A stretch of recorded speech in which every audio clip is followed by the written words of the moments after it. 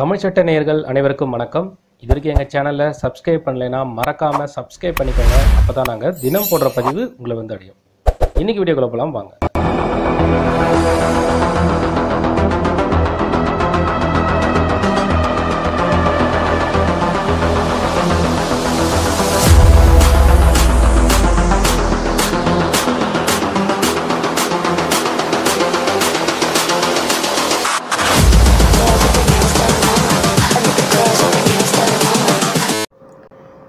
தலைமறைவான ஒரு அக்யூஸ்டோட வழக்கு நீதிமன்றத்தில் எப்படி வந்து நடத்துவாங்க? ஸோ இதை பற்றியான விளக்கம் வந்து கேட்டிருக்கீங்க. சில பேருடைய வழக்கு வந்து அதாவது கம்ப்ளைண்டராக இருப்பாங்க போலீஸ் ஸ்டேஷனுக்கு கம்ப்ளைண்ட் கொடுத்துருப்பீங்க. அந்த பர்டிகுலர் கம்ப்ளைண்ட்டின் பேரில் ஒரு அக்யூஸ்டை அரெஸ்ட் பண்ணி அதற்கான வழக்கு நடந்துகிட்ருக்கும் அந்த அக்யூஸ்ட் வந்து ஜாமீனில் விடுவிச்சிருப்பாங்க பட் ஏதோ ஒரு ரீசனுக்காக அவர் வந்து அப்ஸ்காண்ட் இருக்கலாம் அப்படி அப் அப்ஸ்காண்டான அந்த நபர் மேலே நீதிமன்றத்தில் என்ன மாதிரியான விஷயங்கள் வந்து செயல்படுத்துவாங்க? அதில் அந்த வழக்கு என்ன கோணத்தில் நடக்கும்? அதே மாதிரி ஒரு வழக்கில் வந்து மல்டிபிள் பர்சன் வந்து அக்யூஸ்டாக இருப்பாங்க. அப்படி இருக்கும் பொழுது அதில் சில பேர் மட்டும் அப்ஸ்கேண்ட் ஆயிருக்காங்க. அப்போ மீதி இருக்க பேருக்கு என்ன மாதிரியான வழக்கு போகும்? எப்படி வந்து நடக்கும்? ஸோ அதை பற்றி தான் இந்த வீடியோவில் வந்து நம்ம பார்க்க போகிறோம் ஸோ இந்த வீடியோவில் வந்து பேசிக் டீட்டெயில்ஸ் ஒரு கேசஸ் ஆஃப் அப்ஸ்காண்டிங்கான அந்த நபருடைய அக்யூஸ்டோட கேசஸ் வந்து எப்படி நடக்கும்ன்றதை நம்ம ஒன் பை ஒன்னாக பார்க்கலாம். ஸோ ஃபஸ்ட்டு வந்து எந்த ஒரு வழக்காக இருந்தாலும் அந்த அக்யூஸ்ட் அரெஸ்ட் பண்ணதுக்கப்புறம் அந்த வழக்குக்கு அவர் ஜாமீனில் விடுவிச்சிருக்காங்க. சர்டைன் டைமில் ட்ரையல் டைம்லேயோ அவங்க கால் பண்ணும்போது சம்மன் அவருக்கு இஷ்யூ பண்ணும்போது அவர் வந்து நீதிமன்றத்தில் ஆஜராகணும். இதுதான் வந்து கண்டிஷன் இதற்கான அஃபிடவிட்டு அண்ட் தென் வந்து இது எல்லாமே சப்மிட் பண்ணியிருப்பாங்க during the time of releasing on bail அப்படி இருக்கும் பொழுது அந்த ட்ரையலுக்கு க சம்மன் அனுப்புகிறாங்க நீதிமன்றத்தில். சம்மன் வந்து ரிசீவ் ஆகலை. அதாவது அவர் வந்து ரிசீவ் பண்ணலை.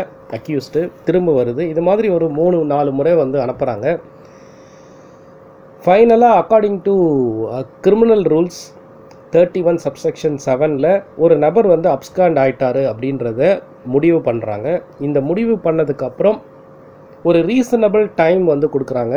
அந்த அக்யூஸ்ட் வந்து திரும்ப நீதிமன்றத்துக்கு இவர் வருவார் அப்படின்ற ஒரு ரீசனபிள் டைம் அந்த டைம்குள்ளே அந்த பர்சன் வரலைன்னு சொன்னால் CrPC code eighty two section eighty two பிரகாரம் அந்த நபர் அந்த நபருக்கு ப்ரொக்ளமேஷன் ப்ரொக்ளமேஷன் ஆஃப் அஃபண்டர் அப்படின்னு சொல்லி ஒரு ஒரு கேஸ் வந்து ரைஸ் பண்ணுவாங்க. இப்போ பொதுவாக வந்து பார்த்திங்கன்னா இந்த ப்ரொக்ளமேஷன் வந்து இந்த சம்மன்லாம் அமுச்சு ரீசனபிள் டைமில் வெயிட் பண்ணி அந்த நபரை வந்து ஆஜராகலை கோர்ட்டுக்குன்னு சொல்லும்போது ஒரு ரீஜனல் நியூஸ் பேப்பரில் இந்த நபர் இந்த வழக்குக்காக ஆஜராகலை இவரை வந்து அப்ஸ்காண்ட் ஆயிருக்காரு. இவரை வந்து அவராக அந்த பேப்பரில் பார்த்து இந்த டைமில் கோர்ட்டில் ஆர்டர் ஆகணும் அப்படின்ற மாதிரி ஒரு வெரிஃபிகேஷன் கொடுப்பாங்க. இன் அடிஷ்னல் இது ஒரு இம்பார்ட்டண்டான கேஸாக இருக்குது அப்படின்னு சொல்லும்போது ஒரு சீரியஸஸ் ஆஃபன்ஸாக இருக்கும்பொழுது அவருக்கு பிடிச்சி தரவங்களுக்கு சில டீட்டெயில்ஸ் வந்து வழங்கப்படும். அந்த மாதிரியான தகவல் வந்து கொடுப்பாங்க. அவர் வசிக்கக்கூடிய இடம் அவர் அஃபிஷியலாக இருந்த இடம் இந்த மாதிரி இடத்துல வந்து அந்த ப்ரொக்ளமேஷனான அந்த பர்டிகுலர் இன்ஃபர்மேஷன் வந்து பேஸ் பண்ணுவாங்க. ஸோ இதன் மூலயமாக அந்த பார்ட்டி வர்றதுக்கு நிறைய வாய்ப்பு இருக்குது அண்ட் தென் வந்து வாரண்ட் இஷ்யூ பண்ணி அவர் எங்கே இருந்தாலும் அரெஸ்ட் பண்ணுறதுக்கு போலீஸ்க்கு வந்து பர்மிஷன் கொடுப்பாங்க. ஸோ இந்த மாதிரி விஷயம்தான் இந்த செக்ஷன் எயிட்டி டூவில் வந்து ப்ரொக்ளமேஷன் வந்து நடக்கும்.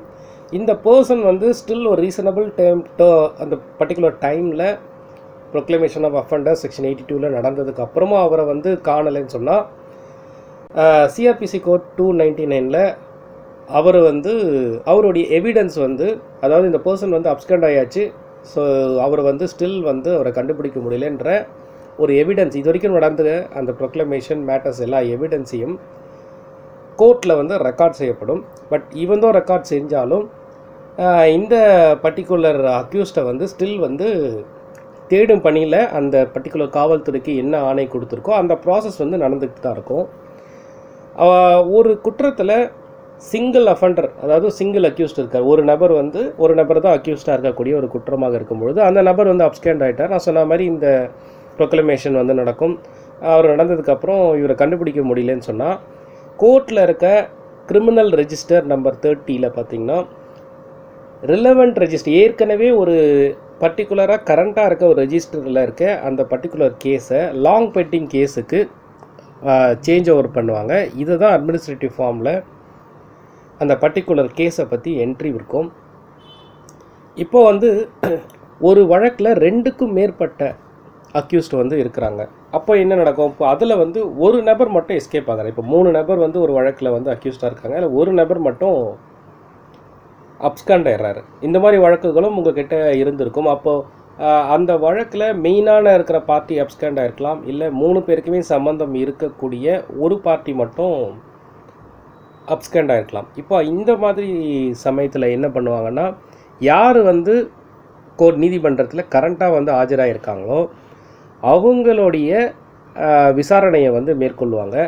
ஒருவேளை இந்த கேஸுக்கு வந்து இந்த ஃபஸ்ட்டு இந்த அப்ஸ்காண்டான நபர் மேலே தான் முழு குற்றமும் இருக்குது எக்ஸாம்பிள் வந்து ஏழு வருஷம் அவருக்கு தண்டனைக்குரிய குற்றத்தை செஞ்சுருக்காரு. மீதி இருக்க ரெண்டு பேர் வந்து ஒரு ரெண்டு வருஷம் தண்டனைக்குரிய குற்றங்கள் செஞ்சுருக்காங்கன்னா அந்த வழக்கை வந்து ஸ்ப்ளிட் அப் கேஸாக மாற்றுவாங்க அந்த கேஸ் வந்து பார்த்திங்கன்னா ஏற்கனவே பழைய வழக்கு எந்த வழக்கு இனிஷியேட் பண்ணாங்களோ அந்த கிரிமினல் நம்பர்லேருந்து ஸ்ப்ளிட் அப் கேஸாக ஒரு ஃப்ரெஷ் நம்பரை வந்து என்ட்ரி பண்ணி அந்த நம்பருக்கு இந்த ரெண்டு பேரும் ஆஜராக இருக்காங்க சொல்லி இந்த வழக்கு வந்து கண்டினியூ ஆகும். ஸோ பேரண்ட் வழக்காக மெயினான வழக்கு இருக்கும். அதோட இந்த ஸ்பிளிட்டப் வழக்காக இந்த யார் வந்து இருக்காங்களோ அவங்களுடைய வழக்கு நடக்கும். இதுக்கு ட்ரையல் நடக்கும். இந்த ட்ரை ட்ரையலுக்கு போதுமான எவிடன்ஸ் இருக்குன்னா அவருக்கு ஜட்ஜ்மெண்ட்டும் வழங்கி தண்டனம் இருக்குன்னா அதுக்கான தண்டனையை வந்து அவங்க வந்து அனுபவிப்பாங்க. அதே சமயத்தில் பேரலெல்லாம் இவரை காணாம காணாமல் போன அந்த ப்ரொக்ளமேஷன் பண்ணி போலீஸ் ஸ்டேஷனில் வாரண்ட் இஷ்யூ பண்ண அந்த பர்டிகுலர் டிபார்ட்மெண்ட் இவரை தேடும் பணியில் இருப்பாங்க. ஸோ அந்த வேலையும் வந்து பேரலாக வந்து நடந்துகிட்ருக்கும் இப்போது என்ன எவிடன்ஸ் இருக்கோ அந்த விட்னஸ் எவிடன்ஸ் ஆஃப் விட்னஸையும் செக்ஷன் டூ நைன்டி நைனில் இருக்கக்கூடிய அந்த நபருக்கு மேலே என்னெல்லாம் இருக்கோ அதை வந்து ரெக்கார்ட் பண்ணுவாங்க. ரெக்கார்ட் பண்ணி அவருக்கான ஜட்ஜ்மெண்ட் வழங்கி அது டீம் ஃபிட்டாக இருந்தால் அவங்களுக்கான பனிஷ்மெண்ட்டும் வழங்கப்படும். இதற்கான காப்பீஸ் வந்து அந்த பர்டிகுலர் ஸ்ப்ளிட் அப் கேஸ்க்கான காப்பீஸ் எந்த ஜுரிடிக்ஷனில் நடக்குதோ அந்த ஜுரிடிக்ஷனில் அந்த காப்பீஸ் வந்து கிடைக்கும். ஒருவேளை இது செஷன் கோர்ட்டாக இருக்குது செஷன் கோர்ட் வந்து வேறு கோர்ட்டுக்கு வந்து ட்ரான்ஸ்ஃபர் பண்ணியிருக்காங்க கேஸுன்னா அந்த பர்டிகுலர் கேஸ் யார் வந்து ஜட்ஜ்மெண்ட் கொடுத்தாங்களோ அவங்க செஷன் கோர்ட்டுக்கு ஒரு காப்பி அனுப்பிச்சு அதை வந்து ரிப்போர்ட் பண்ணுவாங்க. ஸோ இதுதான் வந்து ஒரு பேசிக் ப்ராசஸ் நீதிமன்றத்தில் ஒரு தலைமறைவான ஒரு அக்யூஸ்டுக்கு வந்து கோர்ட்டில் நடக்கக்கூடிய சில இன்ஃபர்மேஷன் வந்து நான் கொடுத்துருக்கேன். உங்களுடைய வழக்கு நிறைய பேர் வந்து கமெண்ட் செக்ஷனில் வந்து அவங்க வழக்குக்கு வந்து பார்ட்டி அப்ஸ்காண்ட் ஆயிட்டாங்க. நாங்கள் அடுத்து என்ன பண்ணுறது அப்படின்னு தெரியலன்ற மாதிரி வந்து கேட்டிருக்கீங்க. பார்ட்டி அப்ஸ்கேண்ட் ஆனாலும் நான் சொன்ன மாதிரி இந்த ப்ரொசீஜர்ஸை நீதிமன்றத்தில் உங்கள் வழக்குக்கு ஃபாலோ பண்ணியிருக்கா அப்படின்றத நீங்கள் பார்க்கணும். அப்படி இல்லைன்னு சொன்னால் உங்கள் அட்வொகேட்டோட நீங்கள் பேசி அதுக்கு அடுத்த ஸ்டேஜ் என்ன? அந்த சம்மன் அனுப்பிச்சு அவர் வாங்கியிருக்காரா இல்லையா அப்படின்ற அந்த இன்ஃபர்மேஷன் நீங்கள் எடுக்கணும். அதுக்கப்புறம் அவர் அப்ஸ்காண்ட் ஆயிருக்காரா? ப்ரொக்ளமேஷன் வந்து இனிஷியேட் பண்ணாங்களா? ஸோ அதுக்கு வந்து என்ன மாதிரியான ஒருவேளை ப்ரைவேட் நீங்கள் வந்து நோட்டீஸ் அனுப்ப சொல்லியிருக்காங்களா நீதிமன்றத்தில்? ப்ரொக்ளமேஷன் இனிஷியேட் பண்ணிட்டாங்களா? அதற்கான எவிடன்ஸ் வந்து ரெக்கார்ட் பண்ணியிருக்காங்களா? இப்போ வந்து கரண்ட்டாக அந்த கேஸ் வந்து என்ன நிலமையில் இருக்குது ஒன்றுக்கும் மேற்பட்ட அக்யூஸ்ட் இருக்காங்கன்னா அதை ஸ்பிளிட் அப் கேஸாக மாற்றிருக்காங்களா அதோட நம்பர் என்ன? ஸோ இந்த மாதிரியான விஷயத்தை நீங்கள் கேட்டு தெரிஞ்சு ஸோ அதன் மூலயமா நீங்கள் ஃபர்தரான என்கொயரிஸ் வந்து பண்ணலாம். சில இது வந்து கேஸ் டு கேஸ் வந்து மாறும். ஸோ உங்களுடைய கேஸுக்கு ஏற்ற மாதிரி அந்த விஷயங்களை வந்து நம்ம செக் பண்ணோம் ஸோ நான் கொடுத்துருக்க இன்ஃபர்மேஷன் யூஸ்ஃபுல்லாக இருக்குன்னு நினைக்கிறேன். வேறு எதனால் நீங்கள் கமெண்ட் செக்ஷனில் கேட்கலாம். அடுத்த வீடியோவில் சந்திக்கிறேன். நன்றி வணக்கம்.